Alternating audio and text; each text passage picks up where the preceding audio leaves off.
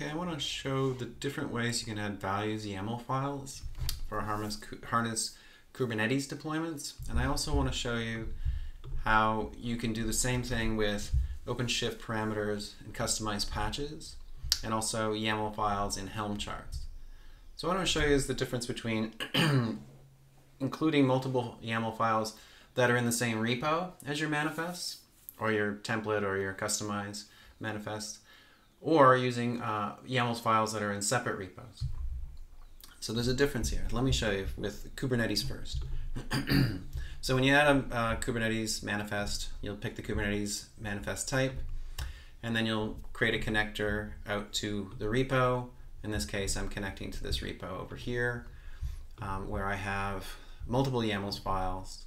Um, this is the one that I'm going to use, and it uses artifact add image expression here and infra namespace expression. And if you've read our docs, you know that this references the artifact that you would add, that you've added down in the, let me close this, down in the artifact section here.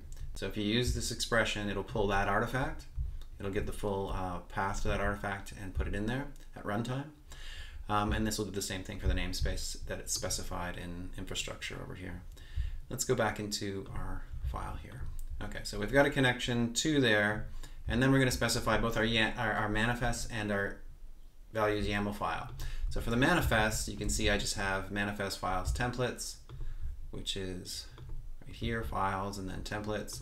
And I've got my deployment, namespace, and service. And if you looked at any of these, you can see that these all use Go templating to reference the values file for the different uh, information. For example, the name, values.name down here for the deployment um, right there. So if I go back and look at my uh, files, and I have my different values YAML, those I want to add next. So here I can add them like this, one at a time, and I can just specify this one's going to use ng values YAML. So you're specifying the path from the root of the repo to that file, uh, ng values YAML like that. And you can add multiple files in here. I could add another uh, path to another file in here. For example, oops, for example, I could add, what's another one here? Uh, let's see.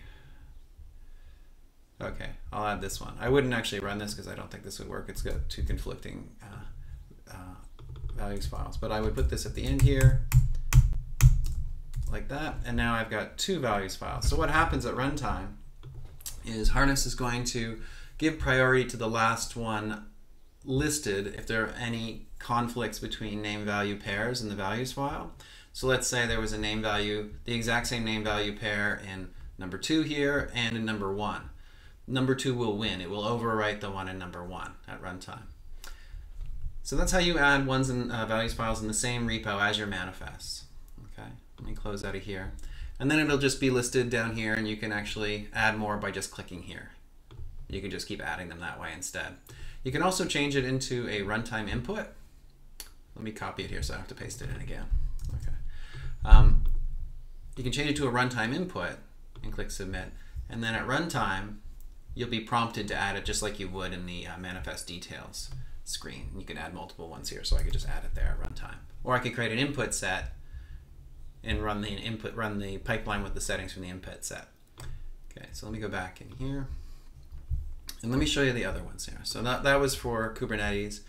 If your values file is in a separate repo, you can add it separately here as values.yaml.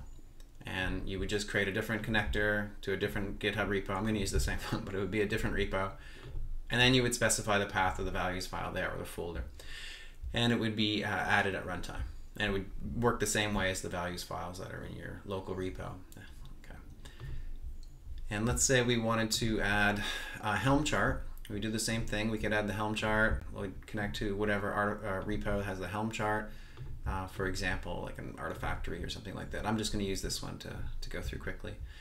Um, in here, we put the path to the uh, chart as well, and then here we would add values file. By default, we'll grab, uh, without actually entering anything in, in the values file here, by default we'll grab the default values.yaml that's in the root of the uh, package of the, of the Helm chart. But if you have additional ones that you want to add, you would just add them here. And all you have to do is specify, if they're in a folder, you can specify the folder, you can specify the path from the root of the chart to the file. And the same, um, uh, uh, if there are any conflicts, the same thing happens as I showed you with the values YAML with Kubernetes. And you can also, just like in the one with Kubernetes, you can set this as an expression, so you could pass in, say, a stage variable or some other variable here. Um, and you can also, uh, when you add it, do the same thing as you did here, make it a runtime input. So that's for Helm charts. OpenShift template, same thing, but with parameters. So we would add it. This. And then we would add our parameters file. So in the template file path, we'd put the template, and then here, any parameters files in the same repo, we would add paths to those. Same features as the values YAML. And we can also, just like with the values YAML, add them separately as well. We could add the param file separately if it's in a separate repo. And the same thing works for Kustomize as well in patches. So if I go to Kustomize,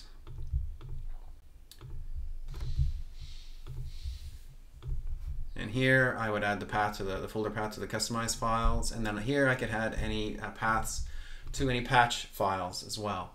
And that would be in the same repo. And if I didn't want to use the same repo, I would just add customized patches separately and point to a separate repo.